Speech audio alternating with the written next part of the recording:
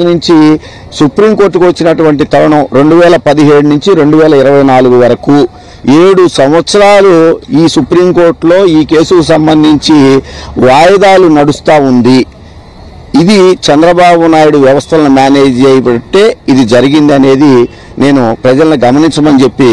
కోరుకుంటూ దానికి తోడు మళ్ళా ఇవాళ కొత్తగా చంద్రబాబు నాయుడు బాటలో నడిచేటటువంటి రేవంత్ రెడ్డి తయారయ్యాడు కాబట్టే ఇవాళ రేవంత్ రెడ్డి తెలంగాణ స్టేట్ తరఫున వచ్చినటువంటి న్యాయవాదులు కూడా మాకు టైం కావాలండి మేము ఈ కేసుని గురించి ఇంకా స్టడీ చేసి మేము ఆర్గ్యుమెంట్లు చేస్తాము అని చెప్పి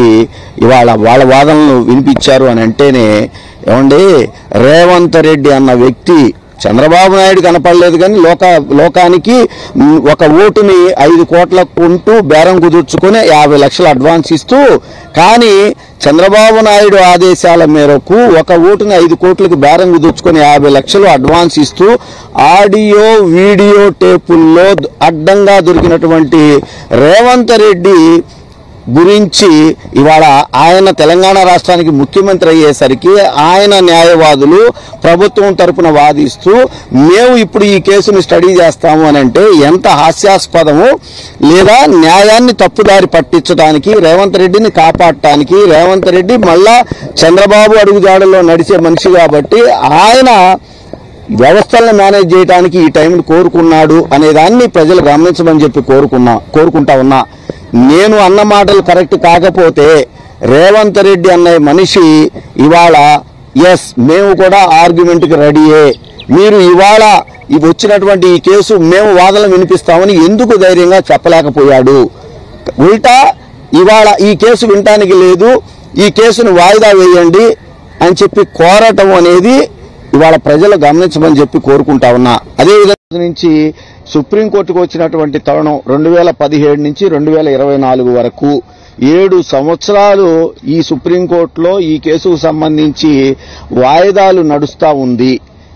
ఇది చంద్రబాబు నాయుడు వ్యవస్థలను మేనేజ్ చేయబట్టే ఇది జరిగింది అనేది నేను ప్రజలను గమనించమని చెప్పి కోరుకుంటూ దానికి తోడు మళ్ళా ఇవాళ కొత్తగా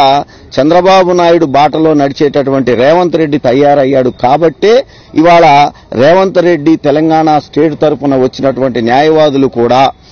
మాకు టైం కావాలండి మేము ఈ కేసుని గురించి ఇంకా స్టడీ చేసి మేము ఆర్గ్యుమెంట్లు చేస్తాము అని చెప్పి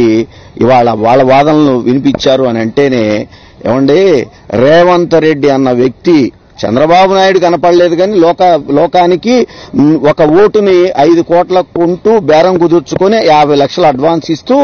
కానీ చంద్రబాబు నాయుడు ఆదేశాల మేరకు ఒక ఓటుని ఐదు కోట్లకి బేరం కుదుర్చుకొని యాభై లక్షలు అడ్వాన్స్ ఇస్తూ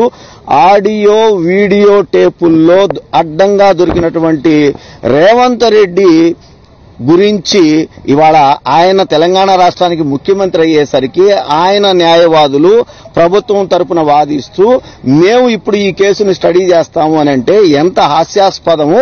లేదా న్యాయాన్ని తప్పుదారి పట్టించడానికి రేవంత్ రెడ్డిని కాపాడటానికి రేవంత్ రెడ్డి మళ్ళా చంద్రబాబు అడుగుజాడల్లో నడిచే మనిషి కాబట్టి ఆయన